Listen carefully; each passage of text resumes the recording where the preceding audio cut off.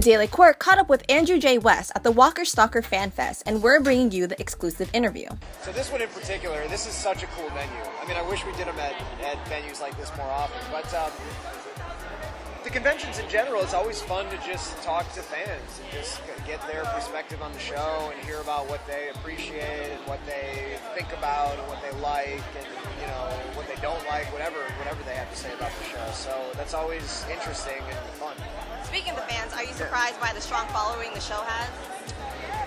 No, you know, I mean, I, I, it's a, it's such a good show, you know. And I, I, well, I think everybody was surprised by what a phenomenon it became, uh, you know, especially after season one, maybe season two.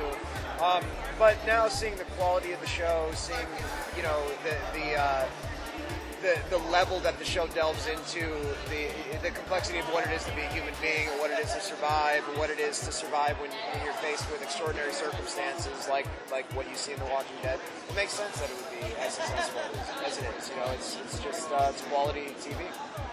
And now you're on um, Under the Dome. So what's that yeah. been like? Yeah, yeah, that was fun. That was fun. The first episode I did just aired. Um, you know, it's another one of those sort of phenomenon shows. It's got a really big following too, and there's sort of a supernatural element, and uh, it's exciting. It's exciting. I can't talk too much about it because I don't want to spoil anything because my, you know, there's there's more to come with my with my character on that show. But uh, yeah, it'll be interesting to see how that all plays out. Can you tease a Chester's little? Mill. Oh, okay.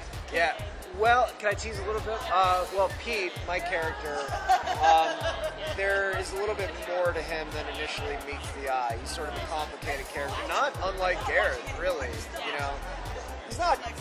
It's not going to get as weird as it got with Gareth, I don't think. But uh, it's it, there's more to Pete than meets the eye.